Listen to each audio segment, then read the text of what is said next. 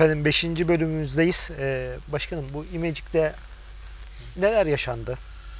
Ee, Benim çok çok öncemden bir konu biliyorsunuz yani bir buçuk iki yıldır devam eden bir Ama şöyle nokta. şeyden başlayalım. Şenlikte şenlikten İşte onu söylüyorum Hı hı. şimdi.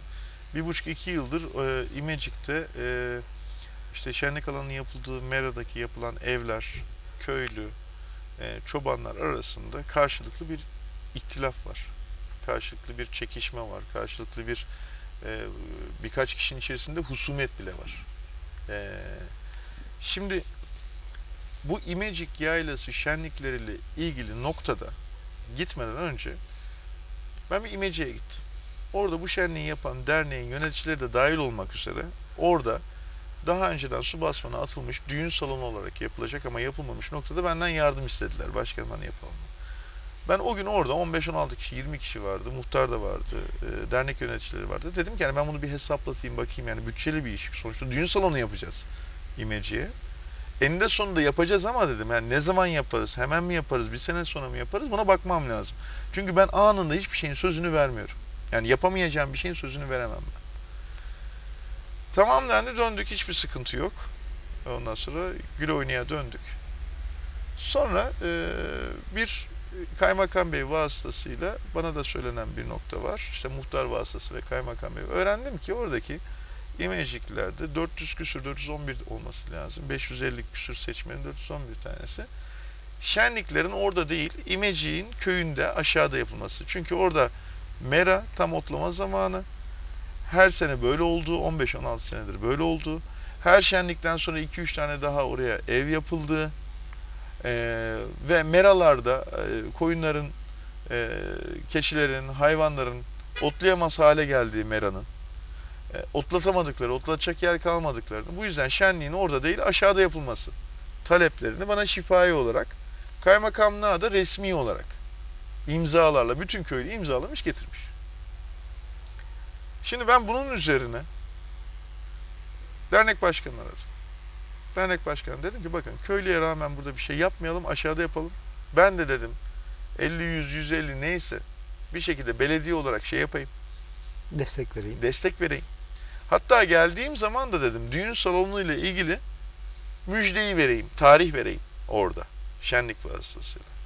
Ama dedim köylüye rağmen bunu Mera'da yapmayalım dedim şenlikle ilgili. O da kendisi de bana dedi ki e, ben o zaman bütün millete deyim ki işte e, köylüye şeye İmecikliler Derneği'ne 6 bin üyem var dedi. O zaman dedi ben mesaj çekeyim Ömer işte e, şeyi yaptırtmıyor diyeyim dedi bana telefonda.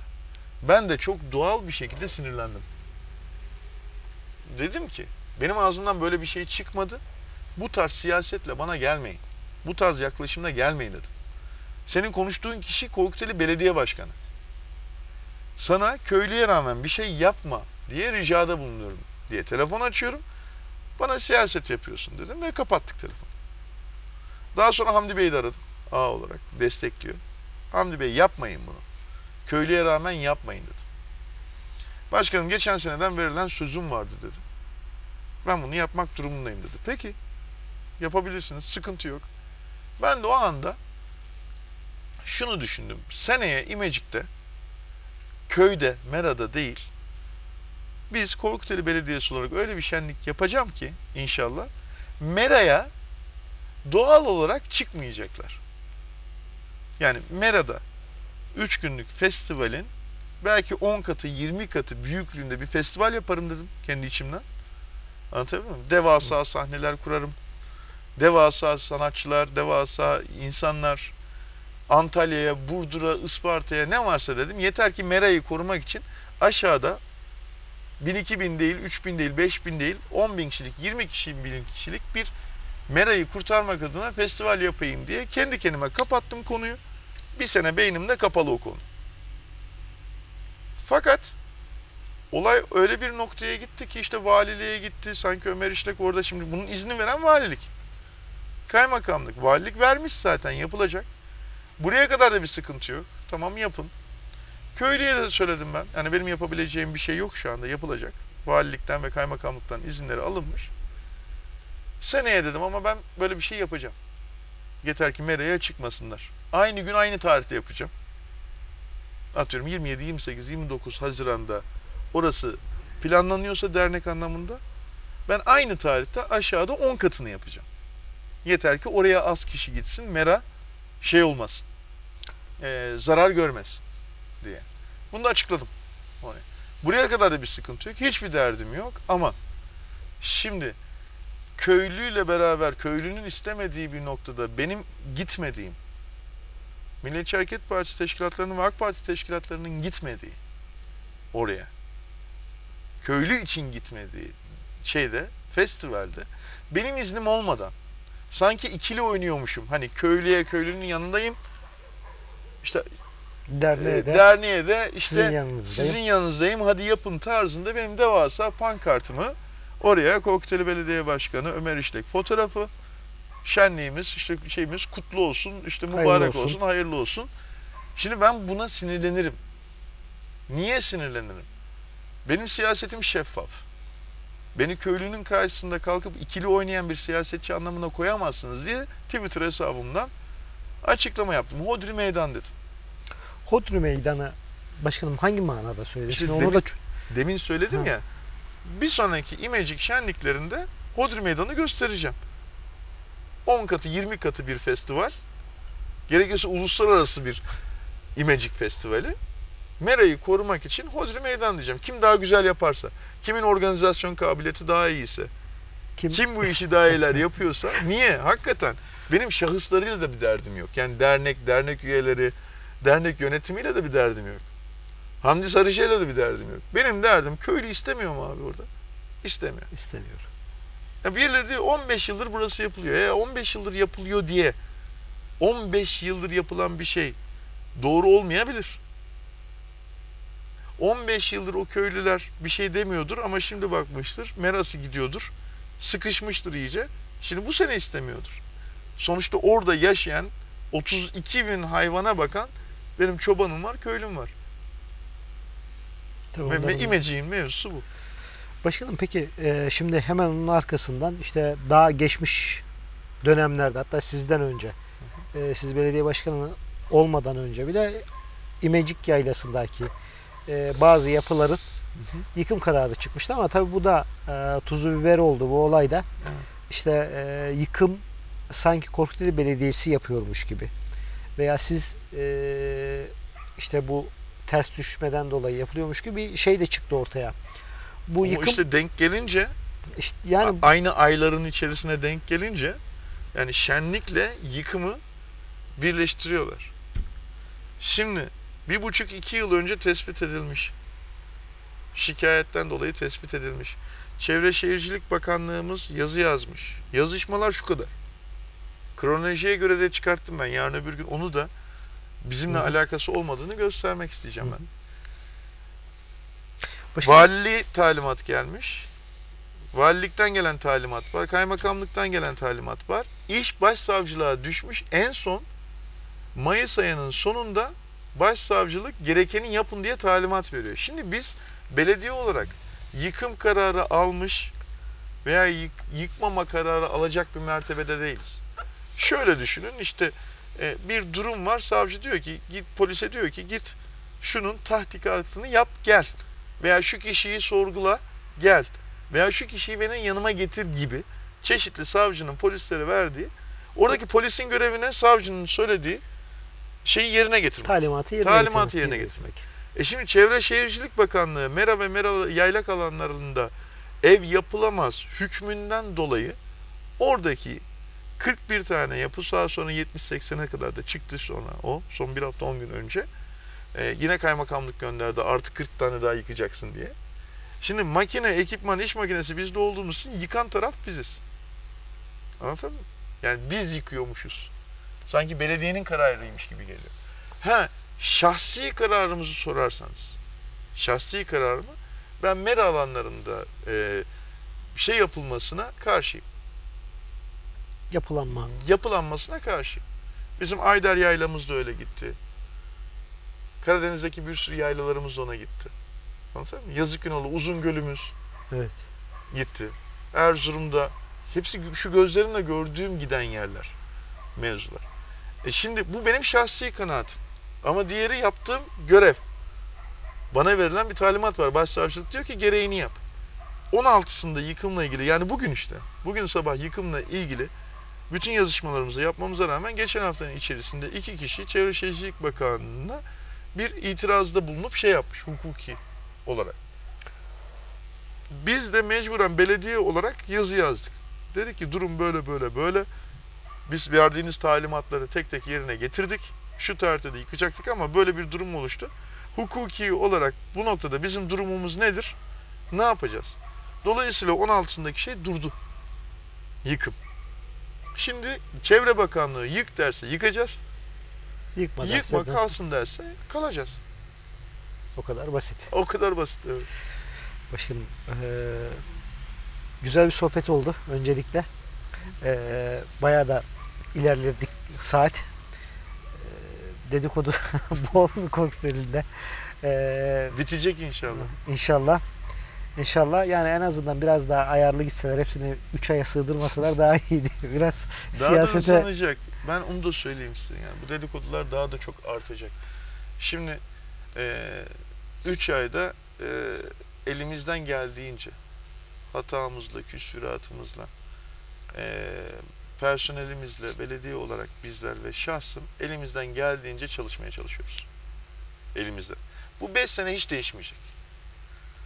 Yani 5 sene ben günde 19 saat toprağıma hizmet edeceğim. Anlatabildim mi? Şimdi burada hizmet ettirirken, şimdi şunu gördüğünüz projenin 3 katı, 5 katı, 10 katı yapılamaz diyen projelerin tamamı yapılmaya başladığında daha ne dedikodular çıkacak. Ben burasına eyvallah diyorum. Ama tek bir istirhamım var. Ben geçen gün Facebook adresimde de söyledim. Ya Allah rızası için benim telefonum açık. Maksimum 6 saat veya 8 saat içerisinde geriye dönüyorum ben cevapsız çağrıda. Ama onu da söyleyeyim. Cevapsız çağrılara dönüyorum. 6 saat, 8 saat. Ya toplantıdayım, ya köydeyim. ATV kullanıyorum ben. Yani sesinden duymamış oluyorum. 6 saat, 8 saat içerisinde döndüğümde 10 tane cevapsız çağrı varsa iki tanesi, bir tanesi veya üç tanesi kapalı oluyor. Yani geriye dönmüş olmama rağmen ulaşamıyorum. Onlar da haklarını helal etsinler. Yani bir daha ararlarsa e, bakarım. E, ama Türkiye'de telefonlarına geriye dönen herhalde ender siyasetçilerden bir tanesiyim. Hatta eşime de sorabilirsiniz bir gün halk sorsun. Akşam eve gittiğim zaman o günkü cevapsız çağrıları gece 11'de olsa 12'de olsa geriye dönmeye çalışıyorum. Atlamadan dönmeye çalışıyorum. Şimdi bunca e, fedakarlık da değil bu. İçimden gelerek yaptığım işi lekelemeye, dedikoduya, fitne fesata daha fazla girerlerse mecburen siyaset yapmamak adına deşifre edeceğim. Ve bunu deşifre edebilmek için de ben milletimizden destek bekliyorum. Beklediğim destek de şu. 0532 736 68 çift 0 benim telefonum. Benden başka kimse de çıkmıyor. Anladın mı? Yanımdaki arkadaşlarım da çıkmıyor. Özel kalemime de vermiyorum. Demesinler ki "Ya işte Ömer işte değişti. Hani değişti oldu. bilmem ne yaptı. Çünkü değişmeyecek. Benim telefonum tek olacak. Numaram da bu olacak. Faturasını ödediğim sürece. tamam mı? Şimdi e, anında alasınlar beni. Duydular mı? Ben işçiyi mi çayına mı Ezmiş. tekme atmışım? Rüşvet mi almışım? Bilmem ne mi? Allah rızası için vebal almamak için desinler ki ya Ömer Başkan'ı bir arayalım. O anda arasınlar, hoparlörü de açsınlar, desinler ki isim de vermesinler. Tamam mı? Desinler ki işte e, yanımda birkaç arkadaş var. Şöyle şöyle şöyle bir şey varmış. Ben anlatayım. Yani kendimi ifade edeyim. Böyle böyle çözelim dedik diye. Öbür türlü bir sürü günahla gidecekler. Bir sürü veballe gidecekler. Siyaset kurumunu yükseltmeyecekler. Tamam mı? Ee, ve hani demin söylediğim noktada da onu da söyleyeyim hani program aslında değil ya yanlış mı anlaşılır arama meclis üyeleri. Benim meclis üyeleriyle ilgili bir sıkıntım da yok onu da söyleyeyim. Hani kapanmadan önce ben içimdekini net söylüyorum. Meclis üyeleri, encümen üyeleri yatırım, yatırım odaklı, Korkuteli hizmet noktasında siyasi kararlar alan, belediyecilik anlamında siyasi kararlar alan, grup başkanları, ilçe başkanlığı olan bir noktadadır. Dolayısıyla 25 meclis üyemin 25'i de e, beni eleştirebilirler. Belediyenin iş ve işlemlerini eleştirebilirler. Belediyeyi denetleyebilirler. Benim üstümdedir meclis. Belediye başkanının üstündedir. Bu konularda laf söyletilemez ama hani açık açık söyleyeyim işte şurada şöyle var eskisiydi beklentiler oldu olmadı ben de duyuyorum bu türlü noktaları. Ben inanmak istemiyorum. Çünkü biz dava partisiyiz. Biz hizmet partisiyiz parti anlamında. Biz üretken belediyeciliği, Cumhur İttifakı'nın diğer ortağı olan gönül belediyeciliği yapma noktasındayız. Şunu bilsin ki halkımız, eee, biz bir meclis üyeleriyle beraber yeminle çıktık. O yemini hatırlarsanız. Evet. Hatırlıyoruz. Tamam mı? İşte birinci, ikinci dereceli akrabalarımızla iş yapmayacağımıza, değil mi? Menfaat, belediyenin menfaatlerini şahsi menfaatimiz olarak kullanmayacağımıza da bir yemin metnimiz var. Biz bu yemin metnine sadık insanlarız. Aramıza, meclis üyeleriyle benim arama birileri de gaza getirerek fitne fesat sokmaya çalışmasınlar. Çünkü Cumhur İttifakı'nın meclis üyelerinden bu fitne fesata kapılıp da gidebilecek bir tane Allah'ın kulu yok. Peki. İnşallah başkanım. Başkanım çok güzel bir sohbet oldu. Ee, Üçüncü ay sohbeti. üçüncü ay sohbeti. Ama bunu üç, altıncı ay yapmayalım. Her ay yapalım bence. Vaktim yok. Hizmet etmem akşamları akşamları en azından bir vakit bulduğumuzda Bak ben billboardlara fotoğraflarımı da koymuyorum. Ömer İşlek de yazmıyorum. Az Evet. laf çok iş diyorum. Kokteyli Belediyesi diyorum. bu da e, başkanım aslında takdir görüyor vatandaşlar tarafından. Ya millet de artık o resimli e, şeylerden bıkmıştı. Bir bıkkınlık vardı. E, bence güzel bir şey yapıyorsunuz. İnşallah böyle devam eder. İnşallah. Sıkıntı yok. E, çok teşekkür ederiz. Ben teşekkür E, ederim. vaktiniz e, az. Saat 12 çeyrek oldu 12 gece. çeyrek oldu. E, burada bayağı soğudu. Gerçi yayına yarın. Yarın yayına yarın girecek. Hı hı, Tabi montajı hazırlanması. hı hı. E, daha canlı Kesmeyin yayını ama bir yere. kesmeyeceğiz. Kesmeyeceğiz başkanım. Özgür basın diyor. Özgür basın. İnşallah gelecek sefer canlı yayın yaparız. Hiç ke- kesme fırsatımız da olmaz. Çok memnun olurum. Canlı yayında. Sorular da gelir. Mümkünse troll hesaplar yapmak isteyen varsa troll hesaplar yapsınlar. Oradan içlerinde kalan bir şeyler varsa canlı yayında, Facebook canlı yayında sorsunlar. Biz de anında cevaplayalım. İnşallah onu da yapsınlar. Bu arada şunu söylemek, kapatayım. Çok kıymetli kokteyllerden isteğim şu. Allah aşkına beni arayın. Sorun. Öğrenin. Başkanım numarayı tekrar verelim. Biz de yazalım Facebook bunu. adresinde de var. Altta Aha. da yazın. 0532 736 68 çift 0. Tamam. Evet. Bunu çağrı yazalım. Milletimizle beraber ben hizmet siyaseti yapmak istiyorum. Belediyecilik hizmeti siyaseti yapmak istiyorum.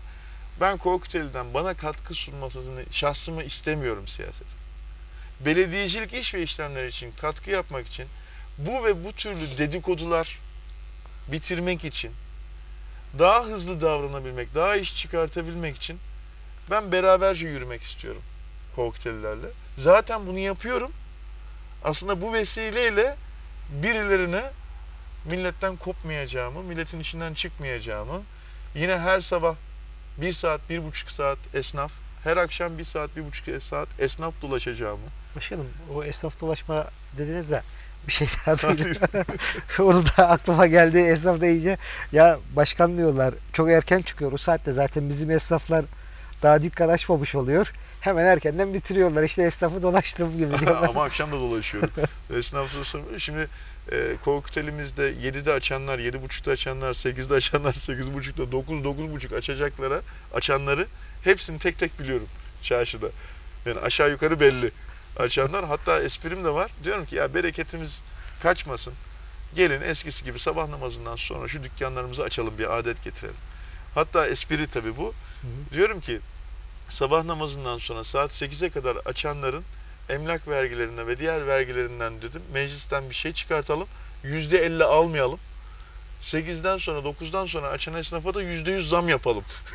Tarzında da şeyim var ama akşamları da dolaşıyorum. Fırsat buldukça kokteylin merkezi yani köyün dışında kokteylin merkezde oldukça esnafa selam veriyorum, oturuyorum, sohbet ediyorum. Zaten şehir içinde çok makam arabası kullanmıyorsunuz. Yayan gidip geliyorsunuz. Derdim yok. Makam arabasıyla derdim yok. Ben birisine hadi beni belediyeye bırak dediğim zaman zaten bırakıyor. Memnun da oluyor. Memnun oluyor. Geçen gün yine buradan geçerken makam arabası gelemedi. E, gelemeyince burada birdim bir, e, birisinin motosikletine gittim ya ben böyleyim. Yani ben bunu siyaseten de yapmıyorum. Çünkü 25 yıl bunun özlemiyle yani siyasetçilere danışmanlık yaparken bunun özlemiyle gittim. Yani içinizden gele yani doğru veya yanlış. İçinizden geleni yapın. Yani hizmetiniz beğenilmeyebilir. Projeniz belirlenebilir. Hatalı şeyler yapıyor olabilirsiniz. Ama hata da yapıyorsanız şuranızdan geldiği gibi davrandığınızda kısa vadede sizi siyaseten bitirmek isterler. Ben buna alışkınım. Ee, terim de var o konuda. Yani kısa ve orta vadede benim tarzımda gönlüyle siyaset yapanları bitirmek için her türlü tezgah yapılır. Daha neler neler olacak. İşte basında yazılacak, manşet attırılacak, savcılar onu şey kabul etsin. Ee, Suç duyurusu suç duyurusu kabul kabul, etsin. etsin. Ee, arkadan hemen şey dedikodusu çıksın. Ha bak şimdi savcılık inceleme yapıyormuş. İşte savcı ya bunu mahkemede e, çözelim deyip dava açsa hemen dedikodu şu yargılanıyormuş. Ondan sonra bunların hepsi klasik siyasetin e, maalesef alerjik durumları. Ama alerjiler her zaman geçer. İnsanın hiçbir zaman siyaseten apantisti içinde patlamasın. Allah İnşallah. muhafaza adamı zehirler, Zehirler e, ve öldürür gider. öldürür, siyasi hayatını Siyasi bitirir. hayatını bitirir. Ee, başkanım, valla uzadıkça uzuyor. Ee, Hemen bir soru soracağım. Tamam. sor. Ee, siyaset pla- planınız içinde gelecek dönem Büyükşehir Belediye Başkanı adayı olmayı düşünüyor musunuz? Şimdi bu benim haddim değil. Ama şunu söylüyorum. Milliyetçi Hareket Partisi'nin yönettiği bir büyükşehir belediyesini Antalya'ya çok büyük katkı sunacağını biliyorum. Üretken belediyeciliğin yapacağını biliyorum. Ama daha 4 yıl 9 ay var. Biz önceden soralım. Hayır hayır 4 yıl 9 ay var. Ee, burada 4 yıl 9 aylık dönem içerisinde genel siyaset nereye gidecek? Ee, Antalya yerel siyaseti nereye gidecek? Siyasi aktörler kim olacak? Ee, genel merkezler ne karar verecek? Sonuçta Cumhur İttifakı devam ediyor ve mezara kadar devam ediyor. Kimler olacak? Ee, vatandaşın o anki beklentileri ne olacak? Nasıl bir belediye başkanı isteyecekler? E, bu, bu soruların hiçbir tanesi şu anda adaylık istiyorum istemiyorum noktasında söyleyebileceğiniz bir şey değil. Bunun kararını benim de vermem durumum yok. Sayın Genel Başkanımız ne takdir ederse, hangi arkadaşımızı takdir ederse o Büyükşehir Belediye Başkanlığı'na çıkar veya Cumhur İttifakı da yine AK Parti olacaksa AK Parti çıkar. Yani 4 yıl 9 ay kala evet çıkartıyorlar. Ben esprilerini yapıyorum. Evet 4 yıl 9 ay var. Ne var? Milliyetçi Hareket Partisi'ni benim gönlümden geçiyor. Yani açıkça söylüyorum 3 hilal e, hakikaten Antalya'ya çok yakışacak. Bence de. Çok yakışır. Yandaş FETÖ olarak evet. Başkanım son olarak Korkuteli halkına ne demek istersiniz? Dua. Ben dua istiyorum. Sonuna kadar dua istiyorum. Çünkü duayla besleniyorum. Anne baba duası almış bir insanım çok şükür. Bana dua etsinler. Personelimize dua etsinler. Belediyemize dua etsinler. Bereketi için dua etsinler. Ee, iş ve işlemlerde kaza olmalısın diye dua etsinler. Fitneden, fesattan, dedikodudan, şerden, şer insandan, yalancıdan, yalancı insanlardan korumak için dua etsinler. Ee, onun dışında Allah'ın izniyle la galibe illallah. İnşallah başkanım. Evet. Başkanım Buyur. kapatıyoruz. Ee, efendim çok güzel bir sohbet oldu. Ee, yani hakikaten e, tüm kamuoyunun da e, merak ettiği sorulara cevap bulduk. Cevap verdi başkanımız sağ olsun iştenlikle.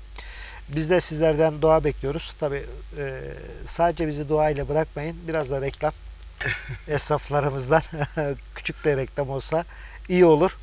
Ee, programlarımız devam edecek. Ee, şimdilik hayırlı akşamlar. Tekrar görüşmek dileğiyle.